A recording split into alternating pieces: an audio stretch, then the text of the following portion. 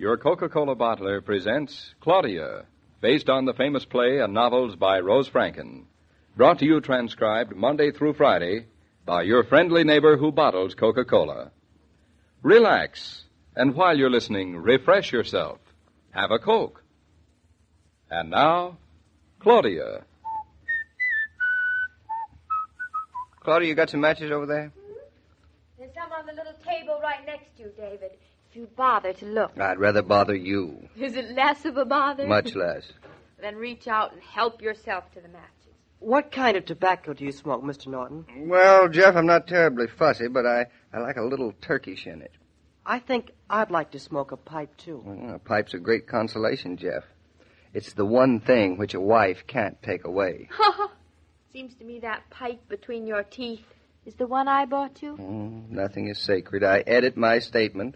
Even a man's pipe is no longer his own, Jeffrey. Still, I think I'd like to smoke a pipe. Well, why don't you? Do you think I'm old enough? Sixteen, going on seventeen, I think you're old enough. I'll have to get myself one. They're ever so much nicer than cigarettes, I think. Women smoke cigarettes, Jeff. My father smokes them, too. I don't think he smokes a pipe. Roger? No, I've never seen him with a pipe. I know he likes a good cigar. I don't like cigars. Not for me, anyway. well, not quite yet. Would you like to borrow one of my pipes? oh, oh, I, I couldn't. I mean, pipes are very personal, aren't they? David never offered me one. I'm never even allowed to touch them or polish them or even hide them. Oh, you're different. Come over here, Jeff. Pick one out. I'll show you how to clean it and polish it up. David. Now, he's big enough. Mr. Naughton, you're swell to me. You and Mrs. Naughton. Ever since you brought me here when I left school. We're uh, I, we're not talking about that. It's it's forgotten. well, I, I just want to say this is the nicest home I've ever And had. And we like having you. Now, now, which pipe will it be? Why not wait until after dinner? And the two of you can spend a glorious evening telling each other stories about pipes. Oh, where did I put those matches? You certainly have to be lighting that pipe very often, don't you, Mr. Yes, don't you, David? Is it working well? A pipe draws, Jeffrey. It doesn't work. Oh, And this one is drawing fine, thank you. But it is not working. Now, Claudia, another word about my pipe, and I'll take you over my knee. listen, there's Bluff. I've been wondering where he wi- was. I was afraid he'd run away again. Would you like me to go out and bring him into the house? Oh, would you mind, Jeffrey? It's getting dark. Oh, I'd like to. But don't you two decide you're going to take a walk. Dinner's almost ready. Don't pay any attention to her, Jeff. If you want to take a walk, go right ahead, and don't let her stop you. But dinner is almost on the table, David. Bluff and I'll just go down to the brook and back.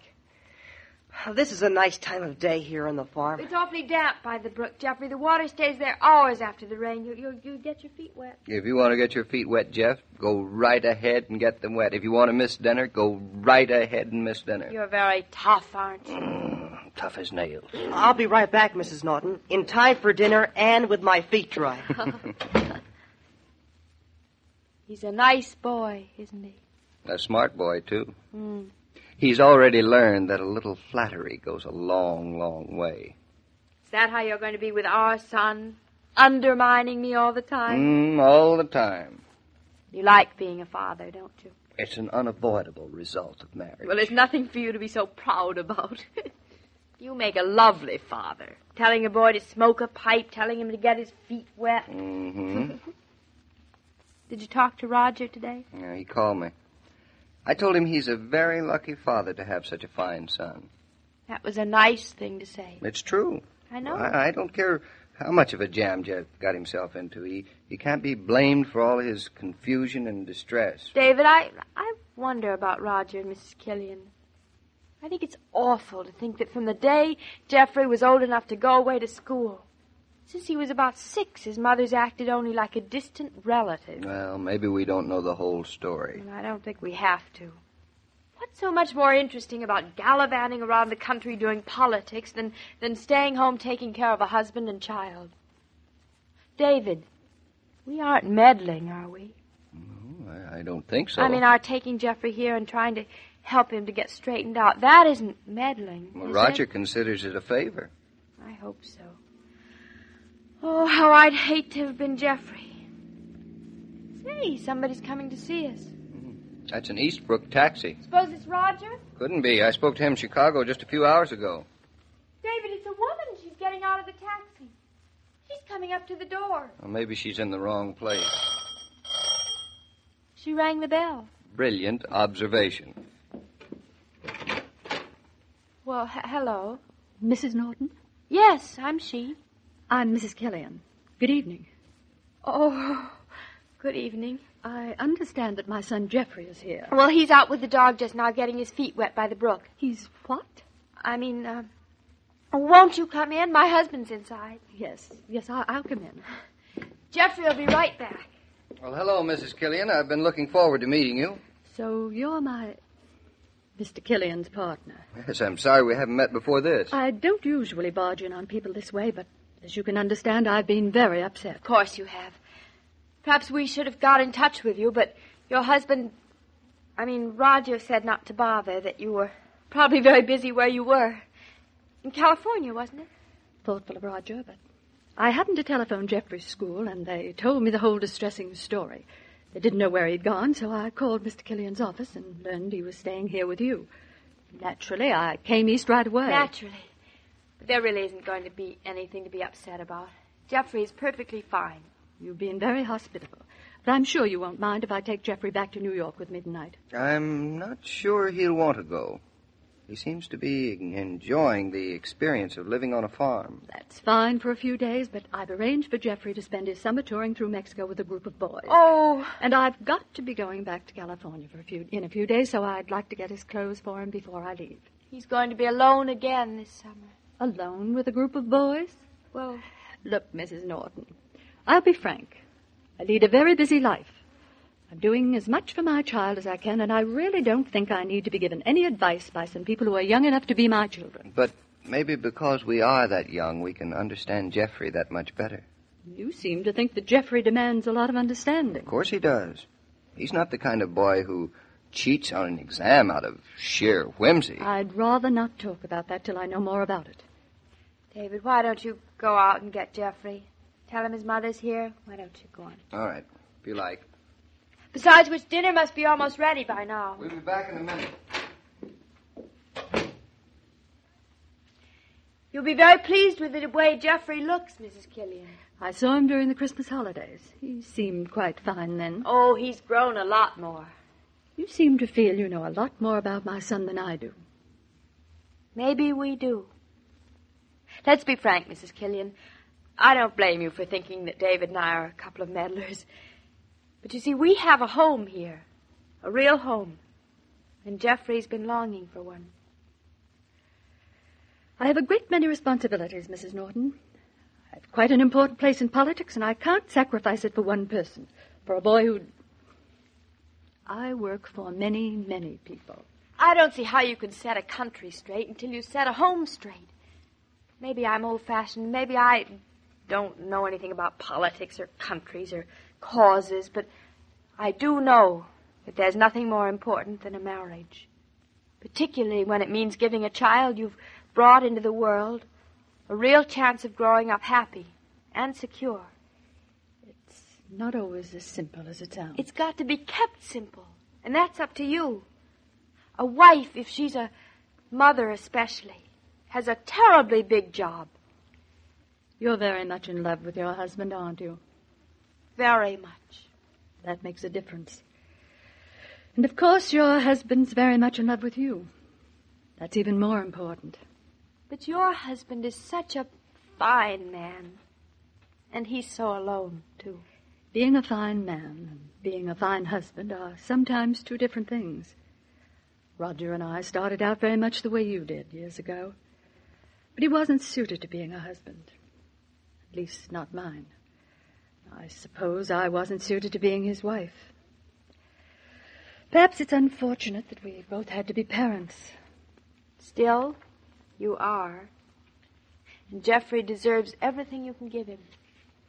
I don't think it'd be such a sacrifice for you to give him a father and a mother. I know it's easy for me to talk because, as far as I can see, I'll never have to make a choice. I want my husband, I want my children, and I want to make a home for them. It Must be terribly difficult for you. Nothing's impossible or too difficult. You believe in it. That's how I feel. And I hope maybe you'd. Oh, there comes Jeffrey and David now. What do you think of your son? Why, he's smoking a pipe. And he's gotten so tall. He looks like a man. He isn't, though. Not at heart. It's just the pipe. They seem very happy together. They are. But Jeffrey'd be happy with anybody who'd give him some attention and love. Well, we're back and no wet feet. You'll both get gold stars. Hello, Mother. We didn't expect you. You're looking fine, Jeffrey. Mr. and Mrs. Naughton have been swell to me. You look like a man. Oh, it's the pipe. That's just part of it, Jeff. I hurried east as soon as I heard that. Well, I. I hope you don't mind my coming. We were just going to have dinner. and you're going to stay, aren't you, Mrs. Killian? Well, there's a train tonight, and I. Don't take it. Stay here instead. Stay the night. The four of us have so much to talk about. Jeffrey, would you like me to? It's all settled. Come on, David, let's go set an extra place for dinner. Oh, I'll do it. You'll do nothing of the sort. Jeffrey, why don't you show your mother the upstairs? Well, don't worry about a thing, Mrs. Naughton. I'll take care of Mother. Well, now all we can do is break the news to Gertrude that there's an extra person for dinner. Gertrude won't mind. Even Gertrude knows that the bigger the family, the better. Oh, David, cross your fingers and pray that the Killian family is going to be a family. Have you been giving Mrs. Killian a piece of your mind, Methuselah? Well, you gave Jeff a pipe, didn't you? Mm, yes. For All I had to give Mrs. Killian was a little piece of my heart. But courage, too. Oh, David, I hope I haven't been stuffy or anything. If it's a piece of your heart you've given her, darling, then it's a piece of something I love very much. And Mrs. Killian should be much the wiser for it.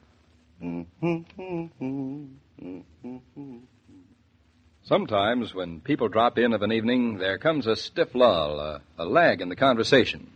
Know how you can brighten such moments? Step out to the refrigerator and bring in a tray full of ice cold Coca Cola. The pause that refreshes breaks the social ice as few things do, whether guests are young or old. Buy Coke by the case, and you'll be ready for social emergencies at any time. Jeffrey's just shown me around the house, Mr. King.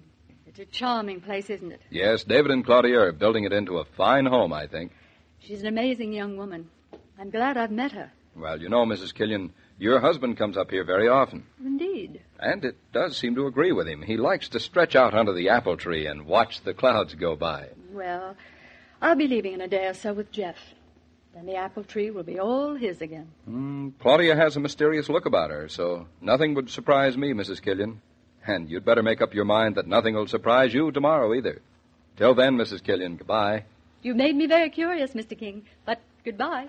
Well, as I was about to say, every day, Monday through Friday, Claudia comes to you transcribed with the best wishes of your friendly neighbor who bottles Coca Cola.